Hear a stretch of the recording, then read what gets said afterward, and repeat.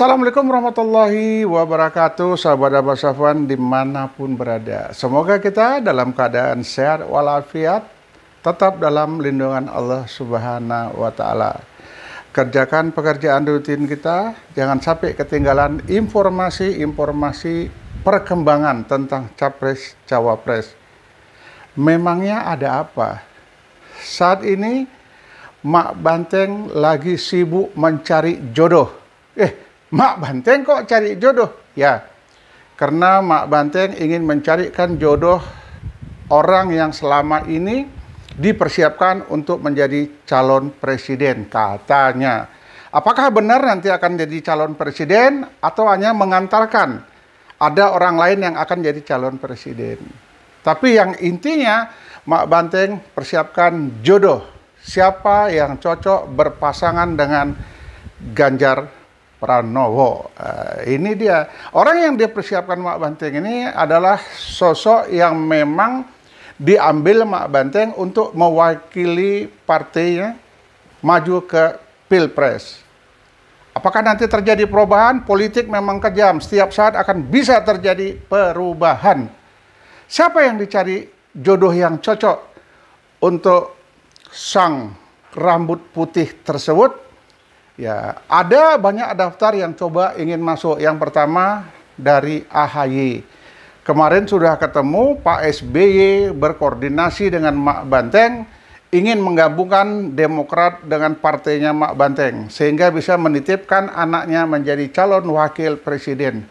Bayangkan, menitipkan anaknya menjadi calon wakil presiden. Kenapa tidak langsung? Seorang calon wakil presiden harusnya mempunyai kepercayaan diri, mempunyai lobby-lobby tingkat tinggi. Ini masih digadang-gadang sama orang tua dibawa ke sana, dibawa kemari. Ya mungkin nanti ke depan ya kita berharap tidak seperti ini lagi, tapi tunjukkan ya seorang anak muda yang luar biasa di mata kami ya. Saya dulu betul-betul pengagum beliau, tapi akhir-akhir ini mulai berkurang. Kenapa? Ke mana-mana bawa bapaknya ya. Ini bisa menjadi bahan pertimbangan. Siapa lagi? Ada lagi sekarang yang dicari Mak Banteng ini orang yang bisa memperkuat daripada koalisinya. Padahal sendiri aja udah bisa maju, tapi ingin mencari koalisi lagi. Yang coba mendekat itu adalah P3, Sandiaga Uno. Apakah cocok dengan Ganjar Pranowo? Ini kayaknya masih diacuhkan juga, masih diacuhkan. Kemudian muncul lagi sekarang nama baru, Ridwan Kamil. Ridwan Kamil memang sosok yang luar biasa, tak banyak cakap, tapi banyak yang pinang beliau. Ini bisa jadi suatu hal yang positif. Kenapa? Semua menginginkan Ridwan Kamil, termasuk dari kubunya Pak Prabowo. Tapi apakah Ridwan Kamil akan dijadikan pasangan Pak Prabowo? Belum tentu. Tapi kalau pasukan Mak Banteng, kemungkinan Ridwan Kamil bisa. Tapi tidak boleh membawa nama Golkar. Karena Golkar ada Erlangga Hartarto. Masa calon presiden nggak bisa ngambil wakil presiden. Kemarin kan calon presiden karena mungkin da belum dapat restu, momennya belum cocok, apakah tidak baiknya menjadi wakil presiden? Tapi apakah Mak Banteng mau? Kayaknya nggak mau. Karena apa? Orang sudah rame-rame bersama kubunya Pak Prabowo karena katanya dapat restu dari Pak Lurah gitu. Jadi ini ini hal yang luar biasa. Kemudian lagi akhir-akhir ini berita hari ini yang saya dapat ya bahwasanya Mak Banteng akan mencari sosok yang seperti Maruf Amin. Seorang ulama karismatik yang bisa mempengaruhi suara umat Islam yang nantinya bisa duduk manis saja ya sebagai wakil presiden Pak Ganjar yang mengendalikan Indonesia. Ini keren ini. Itulah politik-politik tadi semakin hari semakin berkembang. Politik itu kejam dan bisa berubah last minute. Menit terakhir semuanya bisa bubar dan berubah. Apakah Pak Anies akan tetap berpasangan dengan Cak Imin? Belum tentu juga. Hari ini iya, last minute belum tentu. Ya. Kemudian bagaimana perkembangan selanjutnya? Apakah nantinya uh, Ganjar Pranowo berpasangan dengan Ridwan Kamil? Belum tentu juga.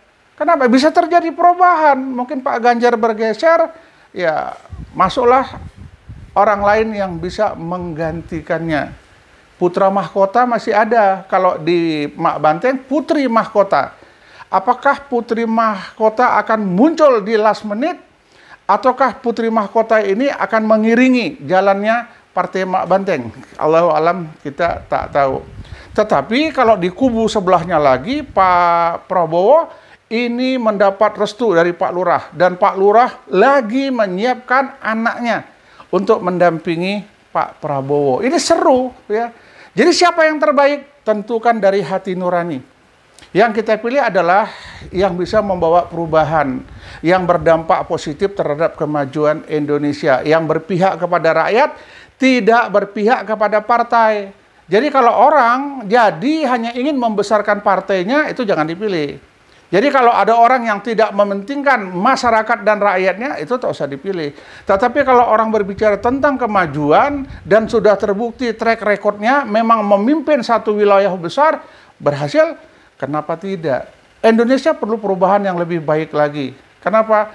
Sekarang situasi sedang tidak baik-baik saja. Kenapa saya katakan tidak baik-baik saja? Ini harga minyak setiap saat naik, naik, naik. Dulu naik 300 rupiah, demonya besar-besaran. Bahkan pakai air mata lagi demonya. Tapi sekarang, kayaknya nggak dipedulikan lagi. Kenapa? Mereka sudah cukup hartanya, sudah cukup kemampuannya. Kalau soal bahan bakar minyak, belinya tuh gampang sekali. Mau minyak paling mahal pun mereka bisa beli, mereka banyak duit. Tapi bagaimana kita rakyat yang di bawah ini? Kita perlu juga memikir perubahan ya agar yang pertama barang-barang sembilan bahan pokok kebutuhan ibu rumah tangga tidak terlalu mahal. Karena banyak rakyat Indonesia tidak orang senang semua. Masih banyak orang susah. Yang makan pun kadang susah. Apalagi mau belanja nanti, cari duitnya juga susah. Orang mau ngelamar kerja, ngelamar kerja saat ini susah, banyak pengangguran di mana-mana. Jadi yang kita inginkan adalah suatu perubahan yang membawa yang lebih baik ke depan. Jika bisa kita berharap nanti sekolah SD, SMP, SMA itu gratislah, jangan dipungut biaya. Bila perlu orang-orang yang berprestasi, orang yang susah, orang yang berprestasi, orang yang susah dapat beasiswa. Ini keren abis. Kalau katanya negara nggak punya uang, ya mungkin bisa kerjasama dengan perusahaan-perusahaan. Ya, ini bisa dipikirkan lagi untuk Indonesia ke depan. Ya. Indonesia ingin yang lebih baik. Siapa yang pantas memimpin Indonesia ke depan? Silahkanlah kita lihat perkembangan saat ini, track record yang paling baik, yang sudah menunjukkan hasil yang luar biasa. Yang tidak malu kita tampilkan di kancah dunia. Bahasa Inggrisnya lancar, orangnya ganteng dan lain sebagainya, nggak pernah terlibat kasus korupsi. Orang-orang yang seperti ini yang perlu kita pilih. Mungkin sementara itu yang dapat saya sampaikan. Teman sahabat Abad Safwan di mana pun berada, kita sehat selalu, kejar terus informasi agar kita tidak ketinggalan informasi. Assalamualaikum warahmatullahi wabarakatuh.